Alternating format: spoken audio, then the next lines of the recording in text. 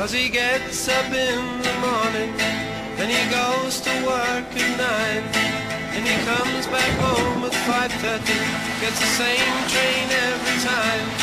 Cause his world is built on punctuality, it never fails, and he's also.